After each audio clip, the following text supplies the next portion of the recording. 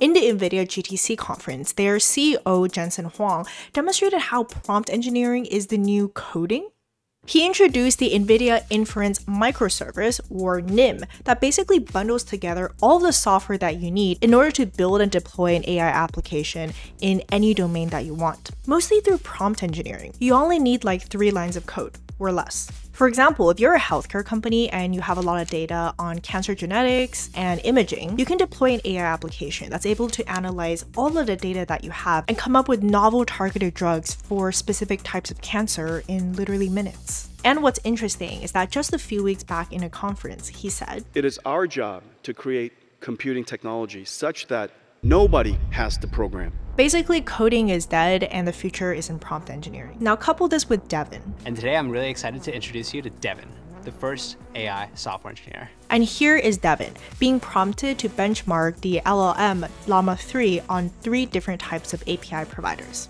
I'm going to ask Devin to benchmark the performance of Llama on a couple different API providers. From now on, Devin is in the driver's seat. We'll come back to this example later, because the prompt itself over here holds the key to answering the question. Is prompt engineering truly the new coding? You will leave this video understanding what Jensen means by nobody will need to learn coding anymore, and what you should be focusing your attention on instead.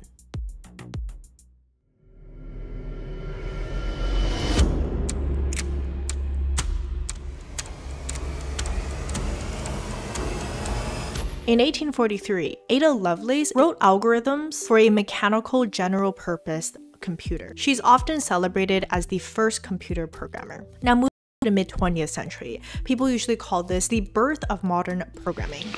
Looking forward 20 years, I'm quite certain that the coming of the computer will have a significant effect on all businesses and most private lives.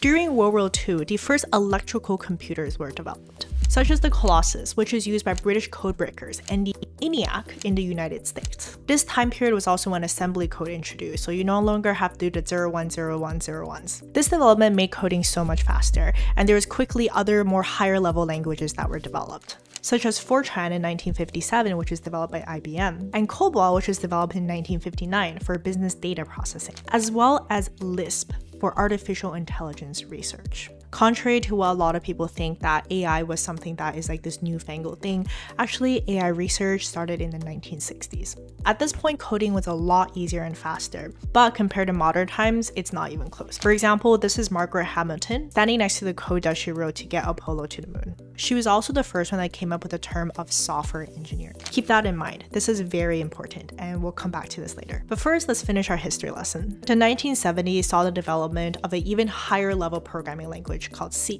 This is a language that's now able to support complex data structures and algorithms, which greatly facilitated the development of very complex large software systems. Moving into the end of the century, the 1980s saw the rise of a lot of software engineering principles, which was quickly adopted with the advent of C++, and inherently an object-oriented programming language. And of course, finishing off the century is when the internet came about. But it's very hip to be on the internet right now. This led to the need for languages that supported web development, starting off with HTML, CSS, then JavaScript in order to enable dynamic web content. Finally, going into the 21st century, everybody was on the internet, and these things called smartphones became very popular. So did mobile development. This, of course, led to a development of lots of different new languages, as well as frameworks that can make sure that the software is more scalable, more safe, and faster to write. These languages and frameworks became more and more abstracted away in high level, like Python, Ruby, React, and TensorFlow for machine learning. A lot of people who use these high level languages genuinely don't even know about how memory management works, which was like a huge thing just a decade ago. But yes, finally now going into the 2020s, the decade that we live in now, this trend of things being more and more abstracted away does continue. With so much data that's being collected, there's now a huge emphasis on artificial intelligence, where machine learning, as well as data science. Developer tools and environments such as Docker, Kubernetes, and cloud-based platforms are becoming becoming more and more popular as we build and run more and more complex software.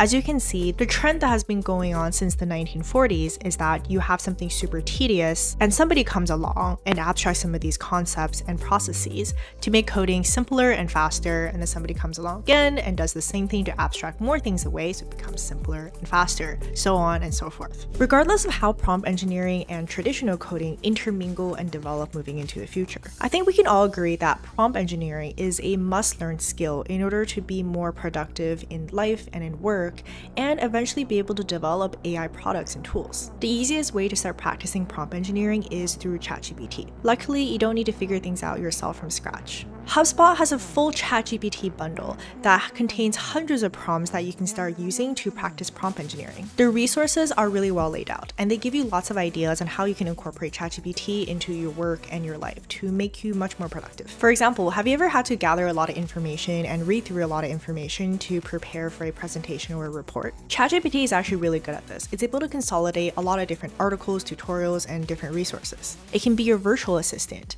your personal concierge, your writing assistant, and so much more. My favorite high ROI section is being able to automate my emails and to be able to filter through news because there's just way too much news out there and not enough time. The best part of this bundle, it is completely free. You can download it at this link over here, also linked in description. Thank you so much HubSpot for providing these free resources in order to help us leverage the power of AI and for sponsoring this portion of the video. Now, back to the video. Engineering, Engineering, come in. Prompt engineering is defined as the process where you guide generative artificial intelligence, generative AI solutions to generate desired outputs. Like, for example, you can ask Devin to come up with a benchmark comparison for Llama being run on three different API providers. Then it comes up with these comparison numbers and even makes a nice little graph that gets deployed. Now let's compare that to a definition of coding, which is the process of creating instructions that computers then interpret and follow. To do the same thing of benchmarking Llama on three different API providers, you would use a high-level modern programming language, such as Python or some flavor of JavaScript. You need to read a documentation to figure out exactly how to use these APIs, run the code to run Llama, the large language model, record the time it takes, then explicitly create that visualization and deploy it while probably wasting a lot of time just debugging things because things rarely work the first time. As you can see, to accomplish the same task, coding is a lot more complex and a lot more time consuming. But what I want to point out is that prompt engineering and coding using Python or JavaScript or whatever language actually still follow the same process. First, you have some input or instruction, whether that be through a prompt or code. Then you have some sort of processing that happens, whether that be within artificial intelligence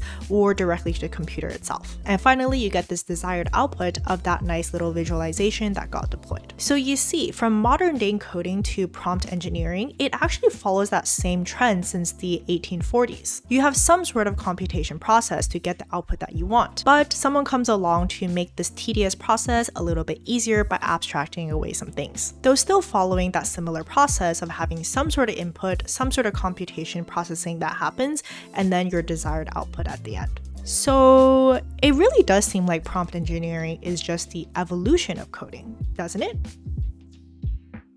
Since grad school. When I was doing my degree in the University of Pennsylvania, one of the first classes that I had to take, which forces you to start from the lowest level programming language of assembly code, then moving up to C and C++, Java, and then Python. I still remember wanting to JMP out of the window when it took 30 lines of code just to write a for loop.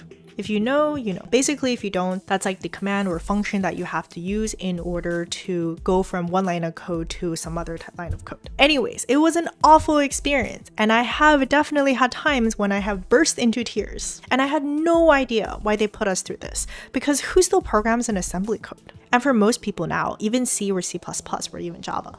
But you see, after I graduated and got a job as a software engineer, I realized that that was one of the most important courses I have ever taken. Because from forcing me to program at such a low level language and then going upwards, I was able to understand what was going on beneath the hood and the concepts and engineering principles that's been abstracted away these days, as well as how to think critically, build things, and continue coding despite tears streaming down my face. These concepts of engineering principles is now why I'm able to learn languages so quickly, to grasp new technologies and learn how to use them very, very quickly. You see, there's a difference between coding and engineering. Coding is just the way that you're getting a computer to do certain things, but engineering is figuring out what it is and what's the best way to build the thing that you want to build. Going back to Margaret Hamilton from earlier, whose contributions led to the successful landing of Apollo, she was also the one that came up with the term of software engineering. You see, before that, we were implementing pretty simple things, like just counting things, doing some addition, processing some things, like summing up some numbers, doing some simple calculations. But as the demand for computation increased and more and more high level coding languages came about, we were able to write more complex pieces of software that call for more engineering principles on how it is that you should be building software so that it's fast,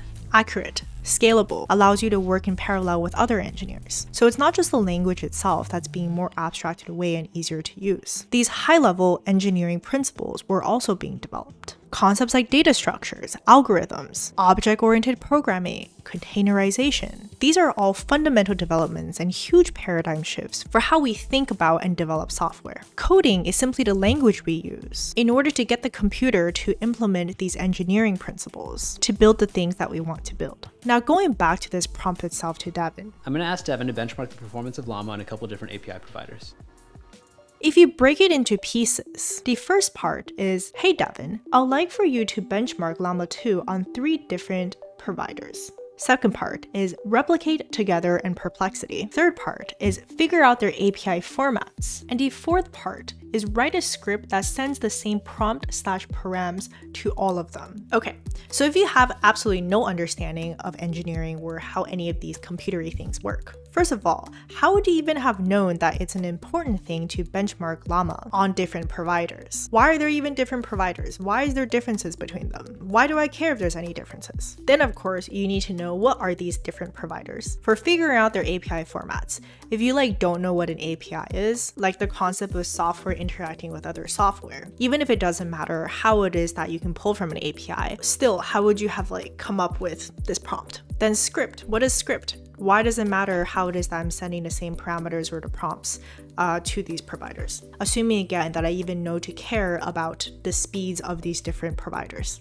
Before y'all come after me and go like, oh, like these things eventually can be simplified as well, so you don't have to explicitly write things. No, no, no, I'm not saying that it won't. I personally actually don't doubt that prompt engineering will become better and better and replace coding in the traditional sense. I agree that everybody can become a programmer at some point. You don't need to learn specific languages like C, Java, Python. But what won't get replaced is the principles that govern data analytics, data science, and engineering. Being able to iteratively figure out what needs to be changed in order to get a better output figure out what even is the output that you want. You'll be surprised by how many non-technical people genuinely don't know what they want. Like two thirds of my job at Meta is going like, hmm, is that really what you want? If you're a software engineer, data analyst, data scientist, ML engineer, AI engineer, whatever, some sort of technical person, what you do isn't just coding. It's figuring out the right question, understanding the appropriate solution, and breaking it down into things that are actually actionable. Problem solving, critical thinking. Let's go back now to Jensen's statement. Nobody has to program. He says, nobody has to program anymore. Not. Nobody has to be an engineer, a scientist, an analyst. But what to study? Now, finally, going back to the rest of Jensen was saying when asked about what people should learn these days. What would you give me as advice for something to pursue? If I were starting all over again, I would realize uh, one thing. One of the most complex fields of science is the understanding of biology, human biology. What he follows up with is also very interesting. Nobody in computer science, nobody says car discovery. We don't say computer discovery. We call it engineering. And every single year, our computer science, our software becomes better and better than the year before. However, life sciences is sporadic. Life science to life engineering is upon us. And that digital biology will be a field of engineering, not a field of science. Life sciences to life engineering. Drug discovery to drug engineering. As someone who has a degree in both pharmacology and computer science, I can definitively say that as it currently stands, drug discovery, life sciences, and engineering are very different. Like, seriously, most of the drugs we discover are actually just wandering around the universe and on a whim just discovering that a petri dish of bacteria is being killed by some sort of thingy that we now know as penicillin. And some dude wandering around the Easter Islands playing around with dirt found this microorganism that just happens to produce an antibiotic, which we now know as rapamycin. I hope that this is going to start a whole generation of people who enjoy working with proteins and chemicals and engineering these amazing things that are more energy efficient. All of these inventions are going to be part of engineering, not scientific discovery. I hope so too, that those of us who are engineers, data scientists, data analysts, technical people use our expertise to engineer solutions in the life sciences, drug discovery, climate change. Thank you all so much for watching this video. Please let me know what your thoughts are about this topic, and I'll see you in the next video or live stream.